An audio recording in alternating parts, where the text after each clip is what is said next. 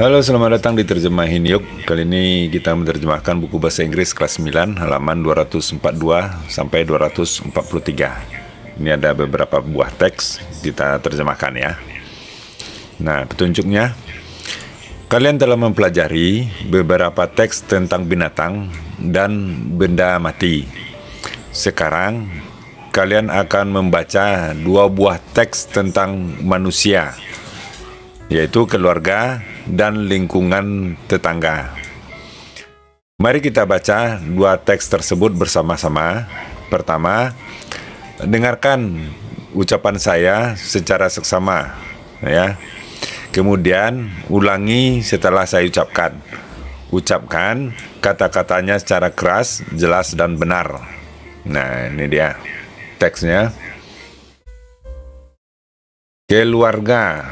Nah, keluarga sebuah keluarga adalah sekelompok orang yang hidup bersama-sama di dalam satu rumah atau rumah yang sama.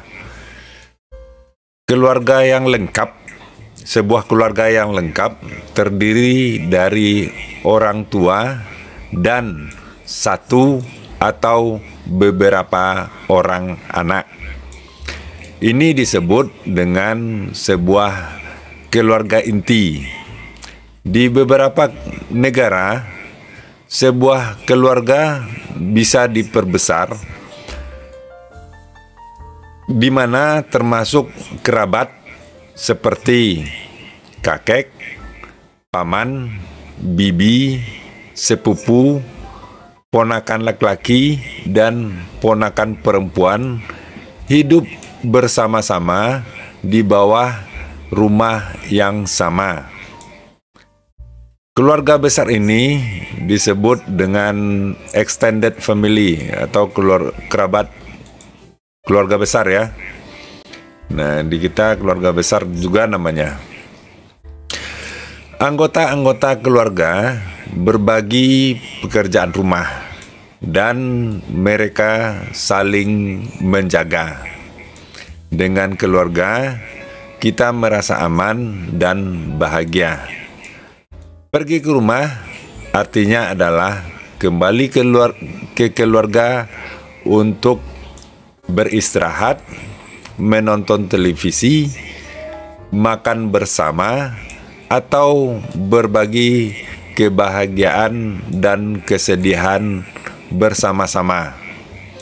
Dengan keluarga kita, kita tumbuh menjadi manusia yang sehat dan berguna.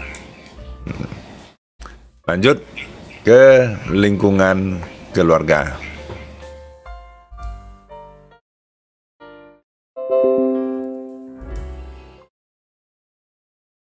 Sebuah lingkungan keluarga adalah sebuah komunitas sosial yang berada di sebuah kota, kota kecil atau desa.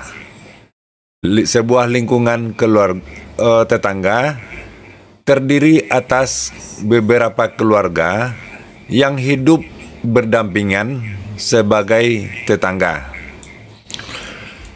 Di sana sering terjadi interaksi langsung di antara mereka. Lingkungan keluarga memiliki banyak manfaat bagi anggotanya. Hubungan yang kuat dan dekat antara tetangga adalah lingkungan yang aman bagi anak-anak untuk tumbuh.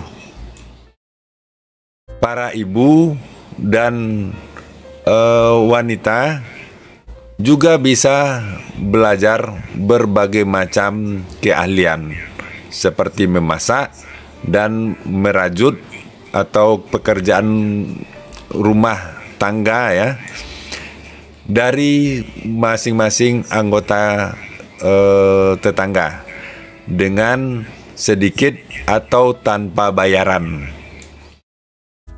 Di sana di sana juga banyak aktivitas-aktivitas aktivitas lingkungan keluarga yang sangat menyenangkan seperti olahraga, dan perayaan-perayaan.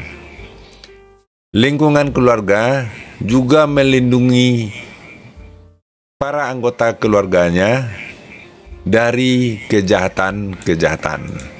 Nah, itulah uh, terjemahan untuk kali ini. Jangan lupa subscribe dan like. Mudah-mudahan bermanfaat. Sampaikan kepada guru dan teman. Diskusikan dalam kelas. Sampai jumpa.